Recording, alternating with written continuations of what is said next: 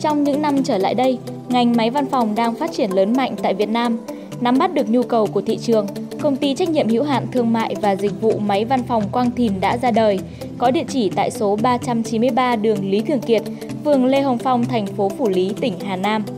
Với đội ngũ nhân viên lành nghề, được đào tạo bài bản, công ty thiết bị máy văn phòng Quang Thìn đã và đang mang lại cho khách hàng những sản phẩm tốt nhất, dịch vụ chuyên nghiệp nhất, thời gian nhanh chóng, giá thành hợp lý.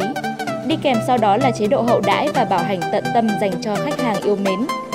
Qua nhiều năm hình thành và phát triển, đến nay thiết bị máy văn phòng Quang Thìn đã khẳng định được vị thế của mình trong lĩnh vực mua bán và cho thuê các loại máy photocopy, máy in, máy vi tính, camera quan sát, máy chiếu và dịch vụ đổ mực máy in.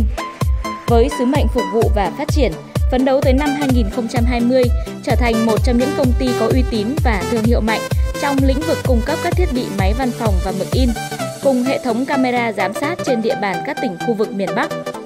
Tạo dựng và duy trì một môi trường làm việc thân thiện và chuyên nghiệp, kỷ luật lao động cao, đồng thời quan tâm đến đời sống vật chất, tinh thần, sự cống hiến và mong muốn của cán bộ công nhân viên trong công ty. Đó là những gì mà đội ngũ lãnh đạo của công ty trách nhiệm hữu hạn thương mại và dịch vụ máy văn phòng Quang Thìn đang làm. Và trên cả là phương châm làm việc sống còn của đơn vị, phục vụ khách hàng như chính bản thân mình muốn được phục vụ. Mọi chi tiết xin liên hệ Công ty trách nhiệm hữu hạn thương mại và dịch vụ máy văn phòng Quang Thìn, địa chỉ số 393, đường Lý Thường Kiệt, phường Lê Hồng Phong, thành phố Phủ Lý, tỉnh Hà Nam. Điện thoại 0226 350 8686, fax 0226 350 8686, hotline 0978 877 896.